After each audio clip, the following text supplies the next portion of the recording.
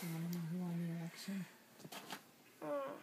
It's over. Do you want to know who won? Do you want to know who won? Mm. Who do you think won? Mm.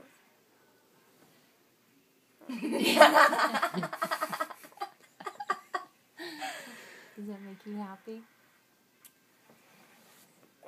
Yeah. Carter.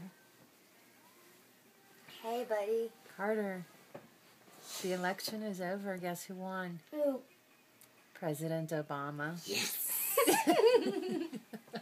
it's like Christmas morning, isn't it? You guys are great.